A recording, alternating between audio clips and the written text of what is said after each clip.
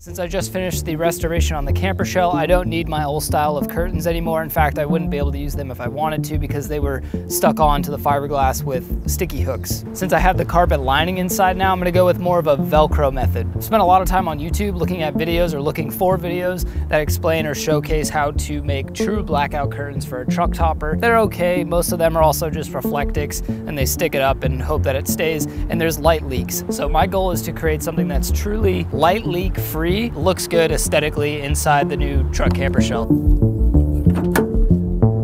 I've got some of the materials here, but I'll go over that later on. This is basically what I'm gonna be using for the curtains. I'm gonna basically use paper to create an outline of the window, and then I can use that to put down on Reflectix as a starting base layer.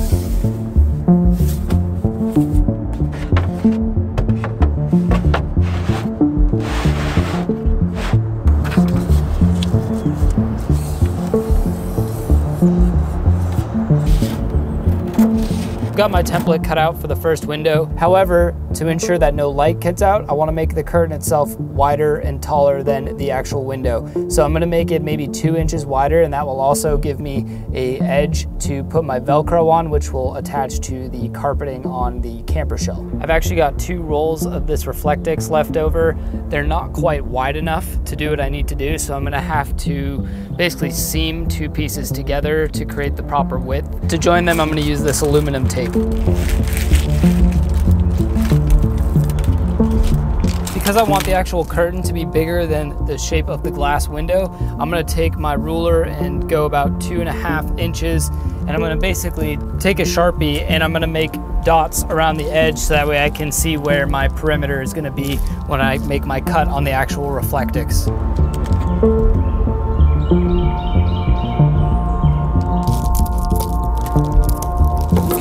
So now we have our cutout here of our piece that's gonna fit over this window. It's two and a half inches bigger than the window itself, which again will give me room on the edge to put my Velcro so it will actually stick all the way around and prevent any light leaking. A lot of people would stop right here and call that good enough. And I don't blame them because it does block the view from inside. However, it's very apparent that there's Reflectix behind this window. We're going for more of a blacked out window look so you can't even tell that there's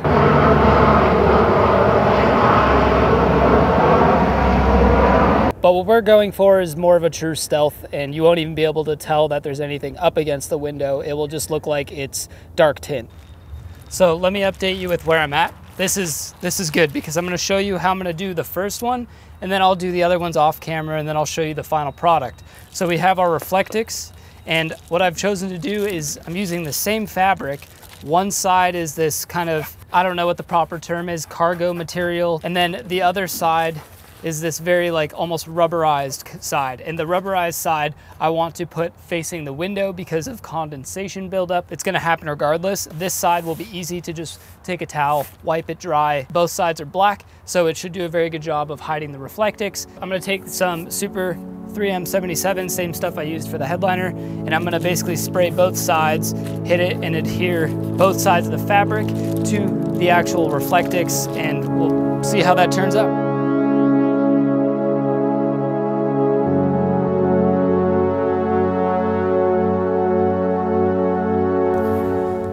Here's our first window done, well not done, but nearly finished to give you a good idea. So this side, the gloss side, is gonna be what faces outside, and this side will be inside. It's a more of a fabric material. I feel like it would look better for the interior going up against the carpet. But I also have this twill tape, and it's basically about a one inch wide piece of fabric, and I'm gonna use that to kind of fold over and go around the whole edge to basically provide some trim around the whole thing and make it look much better. To hold that on, I'm gonna be using this E6000, what is this, industrial strength adhesive.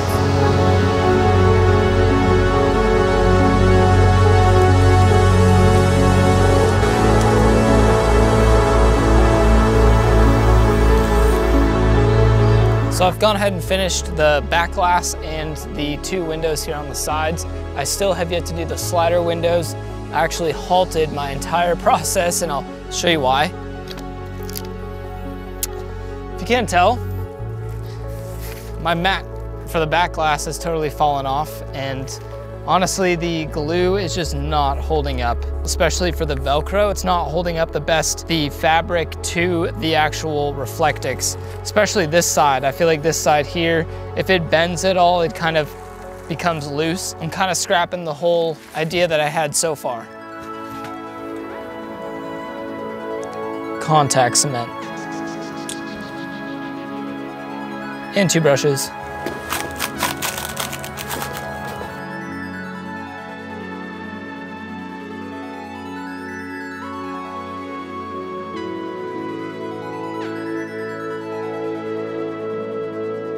It's been close to a week now. I've been working on this project. It's been quite frustrating. I wanted to show you guys the whole process and how they actually turned out all together. These top two here are the first ones I did. These ones belong on these two windows here. They definitely came out the best. The only issue I have, and maybe you can see that, but the fabric doesn't want to stick to the Reflectix too well. I should have used more glue here. Those two, at least for now, are usable. Then we have these two longer ones, which I made up for the slider windows. These two in my opinion, look like crap. I ended up having to buy a different type of material for the edging and it just didn't work as well. But I did use a different method to adhere this. I used the contact cement and the Super 3M and it's actually sticking much better. You don't have that bubbling effect as much as you do on the other two. So those ones came out pretty good. Functional, but not beautiful. And then this is the last one for the lift glass. Don't mind all the kind of debris. I have to go back and clean up all this extra adhesive. It works, it fits the back glass really, really well, and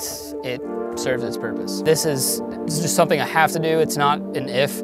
I need to go back and stitch a little bit on this Velcro here and actually stitch it onto the Reflectix because over time it just moves from the sun beaming on it, it's black, so it's gonna absorb a lot of heat, get really hot, and the Velcro tends to peel off. So what I need to do in the long run is take some thread and needle and stitch a little bit of the Velcro, all of them, to make sure that they don't come off. And I'm gonna have to do that for all of the blackout curtains. So I was thinking, where am I gonna store all of these? And I honestly think if I'm not using them, the perfect place would have been underneath the floor, but unfortunately they're a little too wide to fit here. So I think underneath the mattress is probably the best bet. It was at this moment that he knew. He fucked up. I just didn't want to clip my nuts. ah, simple enough to just slide them underneath the mattress when not in use, and they're out of the way because of the Velcro on the pads, they stick really nicely to this lining that I added over the past month or so. Line it up and then just press it on back glass is gonna be a little bit tougher to show you on camera. We have four pieces of Velcro around the edges on the glass facing side. I had to add the other side of the Velcro and stick it to the glass, so that way the Velcro on the curtain would have something to actually stick to. To put the back glass curtain on, obviously I would do this from inside the camper, but I'm trying to show you guys how it's done. It'd be too dark in here to capture it. But essentially, imagine it's closed. I would kind of bend it like this to get it beyond the struts and match the sides. And then I would find the top and place that piece of Velcro, get the sides and the bottom last. And then all together, I can then become like Frodo in his little hobbit home.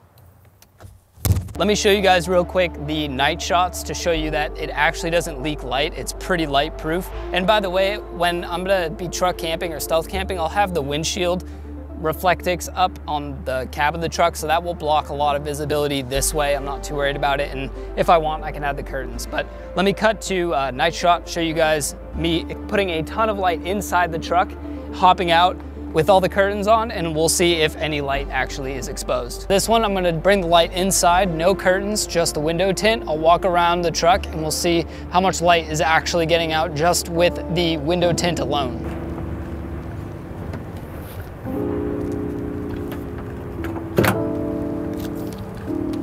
You guys can definitely see the light and there's even a ton of light reflection bouncing off the ceiling and all that and the glass just, especially at nighttime, doesn't do much. It's almost like there's no tint at all. Now I'm gonna put the curtains on and we'll walk around the truck after I put the light back in and see how much light, if any, leaks out of the truck camper.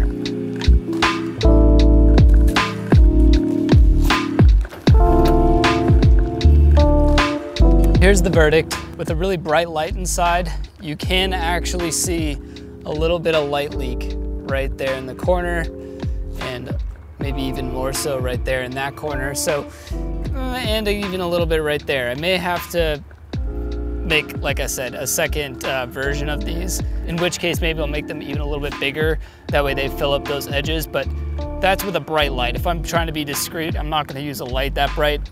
I'm not trying to talk this down. I was aiming for light-proof curtains and I didn't quite get it. On the sides, there's absolutely no light leaks though. Now, if you're in the front of the truck, um, I would usually, like I said, put my Reflectix up in the windshield.